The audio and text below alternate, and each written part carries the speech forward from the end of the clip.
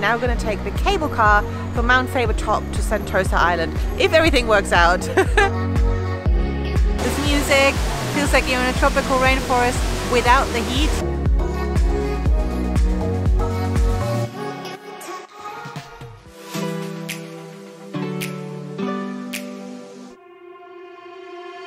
Hello. Hello.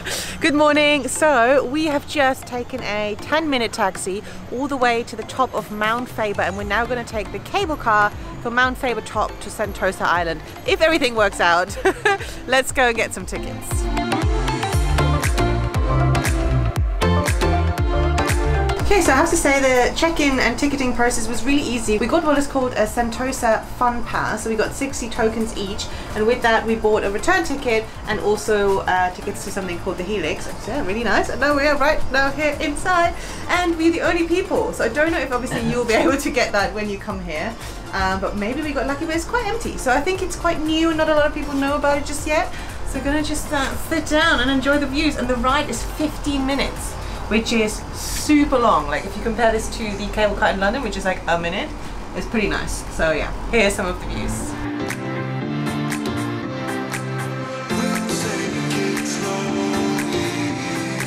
Hello. So next stop is what is called the Sky Helix, and we're gonna go up and we're gonna see some amazing views. Let's do it.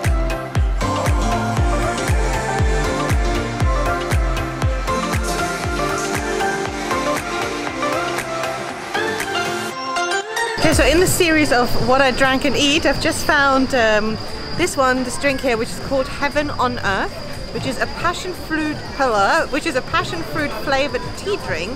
And it's really delicious. It's not too sweet, and it actually came free with our round trip ticket uh, of the cable car and the Helix. So hey ho, I just got like a orange, Fanta orange, orangey Lovely. thing refreshing. because it's very very hot right now. What I say is like 35 plus. Yeah, so, yeah. I'll say that. And I think Sentosa Island is best described as a fun filled island that has everything for the whole family from beaches to amusement park to nature trails to obviously rides, etc. We really loved it, but now it was time to fulfill a lifelong dream of mine. Arguably, the most beautiful thing to see in Singapore are the gardens by the bay. Which is this beautiful tropical installation slash garden with these sort of artificial giant trees in the middle, a walkway that you can explore the trees from sort of halfway up. There's cloud forest, so indoor rainforest houses to discover, plants, uh, animals as well. I've heard some birds and some insects, obviously lizards, everything, and it's right by the bay. That's why it's called Garden by the Bay, and you can see Marina Bay Sands uh, from here. So it's for me maybe the most beautiful thing here. Not gonna lie. I'll show you a bit of a sort of cut together now of what it looks like by day and also by night.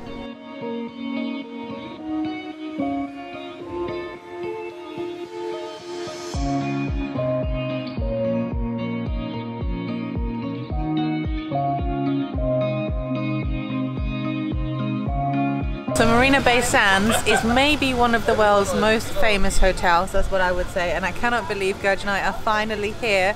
The views are incredible, the feeling is incredible, and so is the pool. Obviously we're not guests at the hotel, so we cannot use the pool today, but I'm going to show you now what it looks like. So come here for the best views I have ever seen anywhere in the world. It does actually beat the Shard, which I would have said before was the best one. And whilst Gurj and I are enjoying our Singapore Sling, which is a cocktail you must absolutely try in Singapore, by the way, let me just quickly tell you that Marina Bay Sands is about 10 15 minutes walk from Gardens by the Bay. So it's a perfect itinerary for straight after. You can just book a table at La which is where we were, or obviously you can stay at the rooftop if you stay at the hotel, which is slightly more pricey. But if you want to treat yourself, then go for it.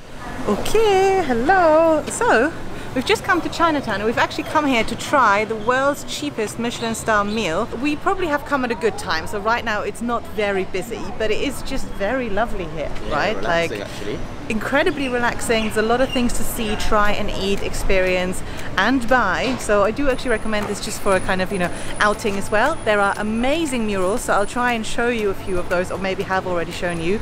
So yeah, do plan that in your Singapore itinerary as well. I think you probably only need like a morning here or a few hours. Uh, yeah, that's it. Can we please have two soy sauce chicken and rice? Okay. And two coconuts. Sure.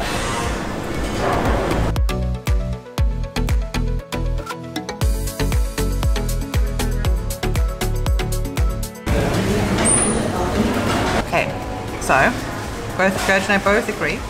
Chicken tastes great. It's like super juicy, not overcooked, not undercooked. It's literally perfect.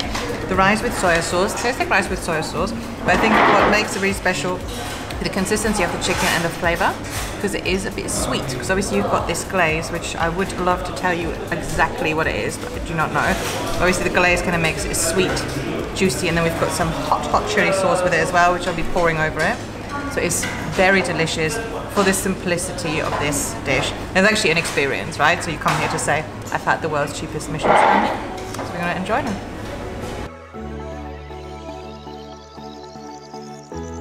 Here we are. So go for it. Hey, hey guys! So I'm with Sandy today, and Sandy's just going to explore a very unique part of Singapore. We're going to visit some of the local public housing in Singapore, what we call HDBs. So just come along and join us for the journey. And what's your name? My name's PS. Okay, Alright, let's go. And cool. look, Gurj and Viraj are here as well, but they're not even listening. So let's go. okay. All right. And the tour was held by a company called Everyday Tour Company. So I've put the link for you below if you want to do it as well. It was honestly super fun. Of course, we started with coffee or kopi, as the locals say, and we saw some amazing coffee making skills. And it was really strong, and there was condensed milk, but I tried it and I kind of liked it. and we then moved on and learned about shop houses, which you can see here, as well as everything social housing in Singapore. Fun fact 85% of the Singapore population lives in social housing, and it's really a privilege here. You have to fulfill a long list of criteria to be accepted, and what you can see here is called the Pinnacle.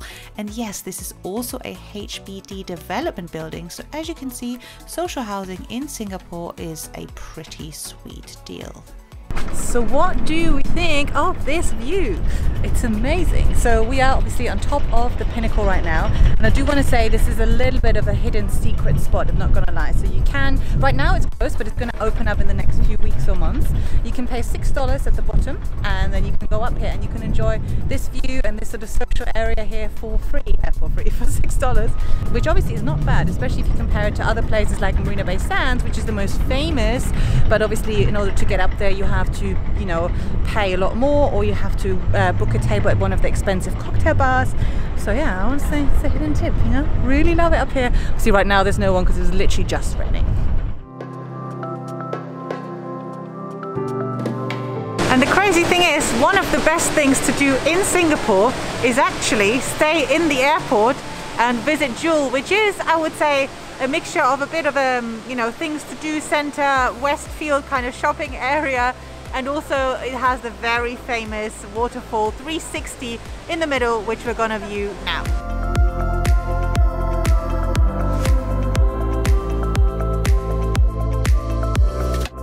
I have to say I really underestimated this. Look at this.